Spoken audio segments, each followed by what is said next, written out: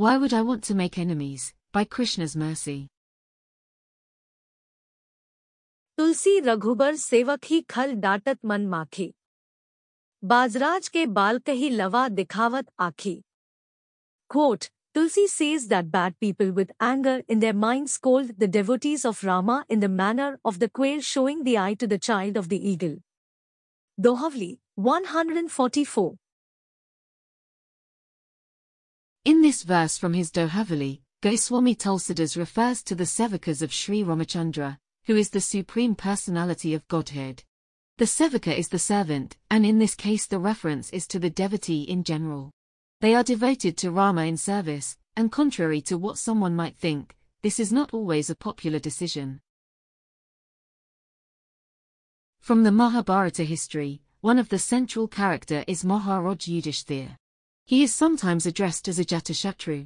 The literal translation to this name is, one whose enemy is never born.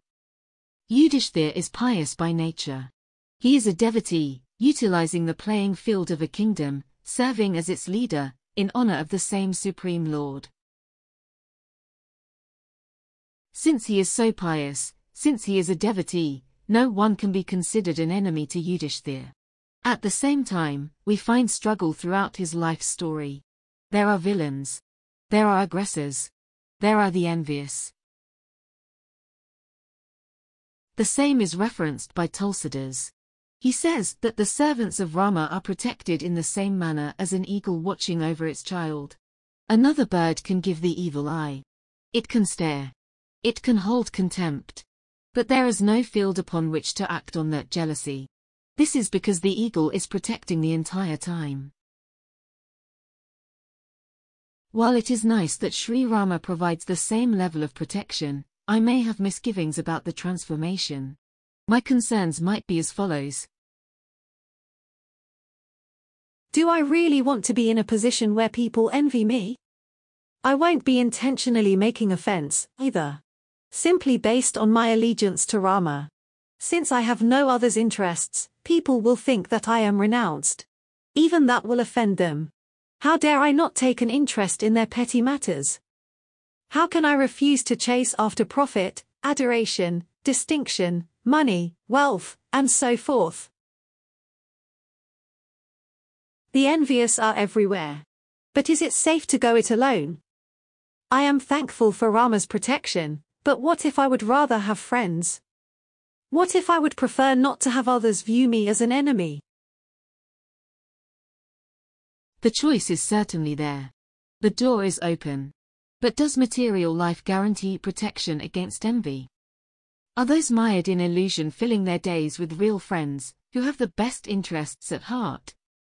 Can there be a greater well-wisher than the Supreme Lord, who accompanies me birth after birth?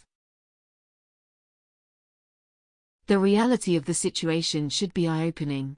If someone is jealous of a devotee, for no good reason, what does that say about them? How far they must have fallen. How degraded they must be. Who would want to live in so miserable a fashion?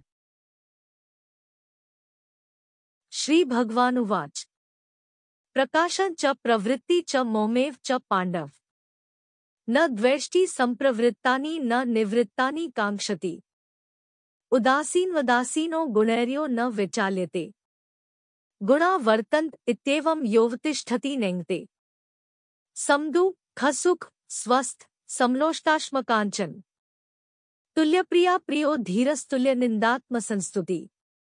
मानापमान्योस्तुल्यस्तुल्यो मित्रारिपक्षयो सर्वारंभ परित्यागी गुणातीत स उच्यते।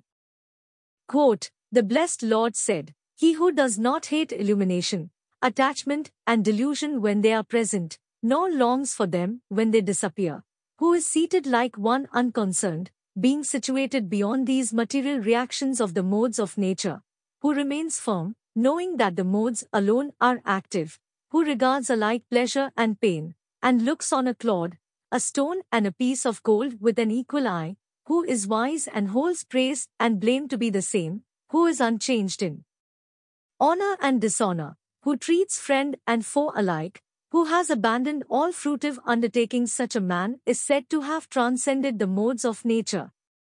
Bhagavad Gita, 14.22-25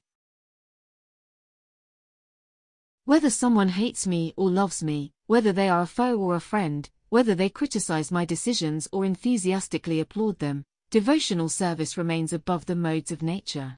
Only the devotee can transcend those modes. That kind of living is known as transcendental.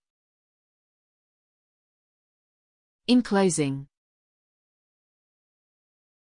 with glorious name despite, sometimes envy to invite, when for Sitarama to decide, and all hopes to confide, because others hopelessly bound, not happy with what I've found, but rather not in any other place, protected from whatever to face.